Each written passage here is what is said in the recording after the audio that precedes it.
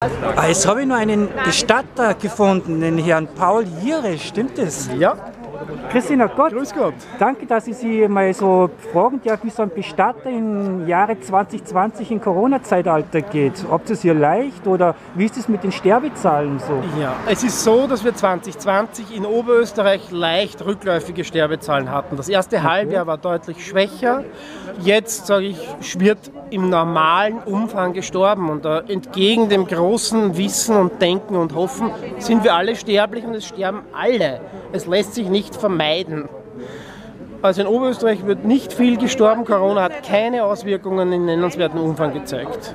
In meiner persönlichen Statistik kann ich sagen, ich habe im letzten Dreivierteljahr keinen einzigen Corona-Toten gehabt, Okay. wohl aber sechs Selbstmörder. Aha.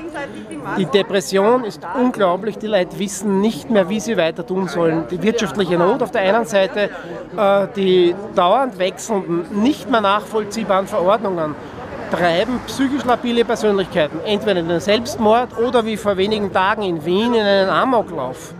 Das sind einfach, dass die Leute das psychisch nicht mehr verkraften.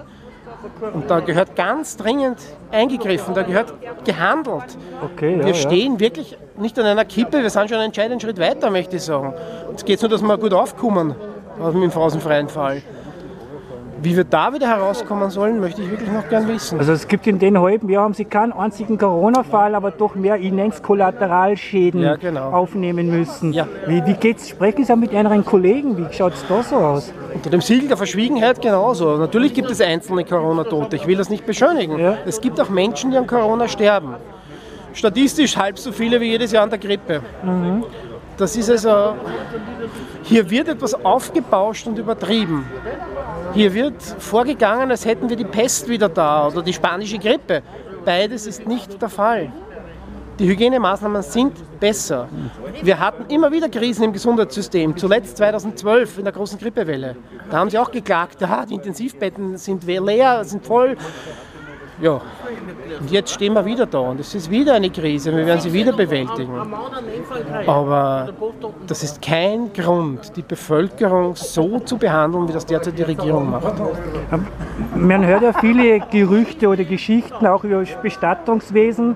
Man kriegt viele Posts, wo man hört, ja, Bestatter müssen jetzt auch schon um Hilfe beantragen, weil zu Nein. wenig gestorben wird. Nein. Das ist übertrieben, Nein, oder? es wird im normalen Umfang gestorben und wir haben den Vorteil, dass wir, wie gesagt, als wichtige Berufsgruppe weiter arbeiten dürfen. Worauf ich immer gerne hinweise, wir sind in solchen notwendig, weil wir eben auch auf diese Gesundheitsmaßnahmen achten, auf die Hygiene. Wir versorgen Verstorbene ordnungsgemäß, schauen, dass eben keine weiteren Infektions- und Ansteckungsmöglichkeiten bestehen.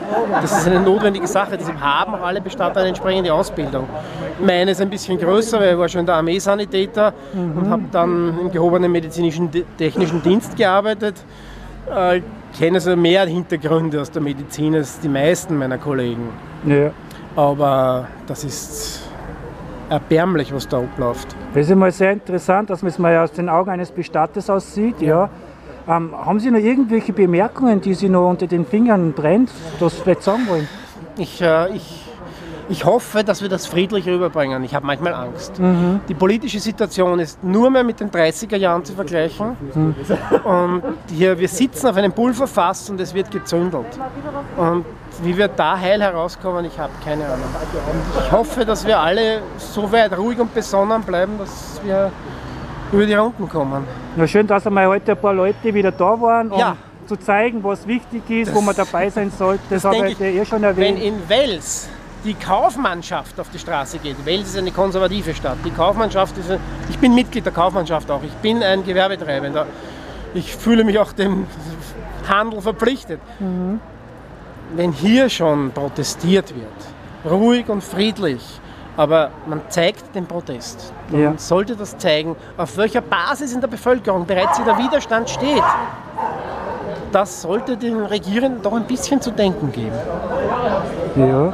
Somit gehen wir das dann mal den Menschen auf den Weg, dass sie zwar Anteilnahme zeigen, sich zeigen, aber besinnlich zumindest Ja. die Kontenance noch bewahren. ja, Und Ruhe bewahren. Es ist, ich weiß, wie schwer das ist, das kann Ihnen auch jeder Psychiater erzählen. Dieses Maskentragen verschärft Aggression, senkt die Hemmschwelle.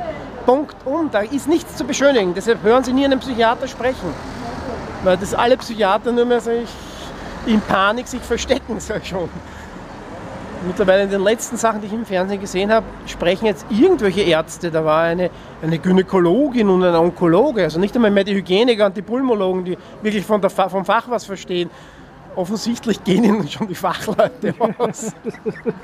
Vor allem die Verschwörungstheorien, wie man schon mittlerweile auch mitbekommt. Ja, ja. das ist ja.